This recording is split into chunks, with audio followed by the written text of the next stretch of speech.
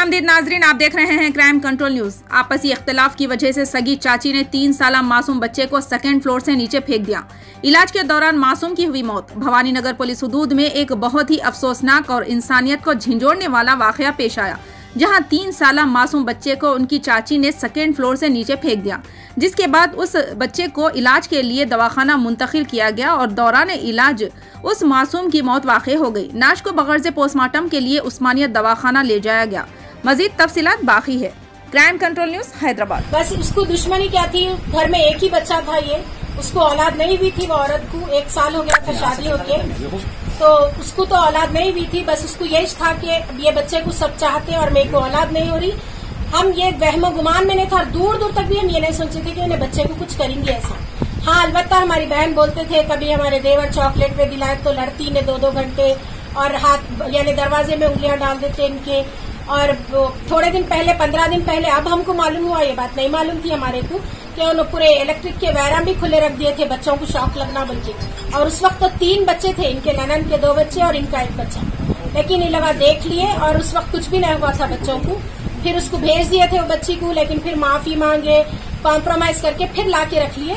अभी सुबह में बच्चे को टॉयलेट धुला के मेरी बहन बाहर लेके गए, और ये काम लेके गई और औरत ऊपर से फेंक दी बच्चे को।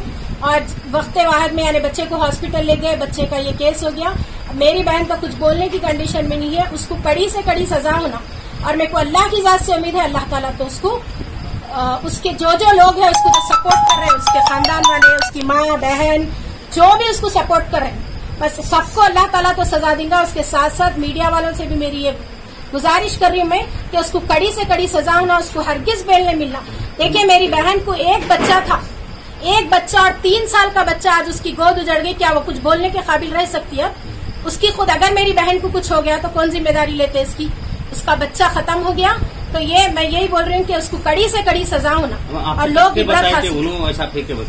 वो खुद को लिए ये करने की वजह क्या हो सकती है? बस सिर्फ़ हसद दुश्मनी और आजू बाजू के लोग भी गवाह है इस चीज़ के लेकिन लोग डरे हुए हैं हम लोगों के सामने तो बोल दिए।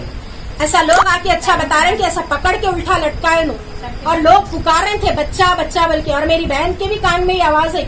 लेकिन उन्होंने, यानी पॉटी जो कर लिए थे, वो शलवार धो रहे थे तो उन्होंने उतना और नहीं करे। और ऐसे कान में सिर्फ़ आवाज़ आई उनके बच्चा बल्कि। तो बस यही है, हम नहीं सोचे, उन्हें इतनी बड़ी दुश्मनी करेंगी। सिर्फ़ हसद की बुनियाद पे, कभी उसको कोई जाति झगड़ा नहीं था, यहाँ ना जायदाद का वो, ये कुछ भी नहीं था। सिर्फ़ उसको जाति हसद मेरे को औलाद नहीं हुई, और घर में ये वाहिद बच्चा है, इसको सब चाहते बस ये हसद की बुनियाद पे वो क्या है, अल्लाह आलम।